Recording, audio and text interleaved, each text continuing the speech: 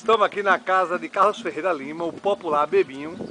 Ele acaba de mudar a pintura de sua casa, que era um marrom assim claro, e agora está colocando cenoura. Por que você está botando essa cor cenoura na sua casa? É para mudar de cor, porque né, todo ano a gente tem que mudar a cor da casa, rapaz. E agora que é Natal, né? Mas você não teria outra cor em sua mente para ficar mais bonito? Mas eu gostei dessa cor, meu filho. Você não Essa tem medo do cara trazer um pouco de leite e pensar que é abóbora e comer os rebocos da casa, não? Ah, perigoso, viu? É perigoso, né? Perigoso. Então começou a pintar que horas aí? Nas 10 horas, 9 horas. A previsão é para que horas termina aí? Na hora que a, a outra tinta viu, terminar lá por cima. que não Ah, então tudo bem. Então continua a pintura. Pode continuar, né? Pode continuar. Vamos lá, vai. A tinta que passa não tá até igual, ó.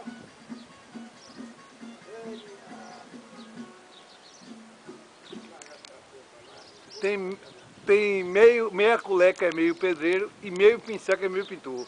Aqui é o verdadeiro meio pincel. Comprou uma lata de tinta e não deu para pintar olha a casa, ó. Olha, não deu uma lata de tinta, só essa aí, cor de cenoura.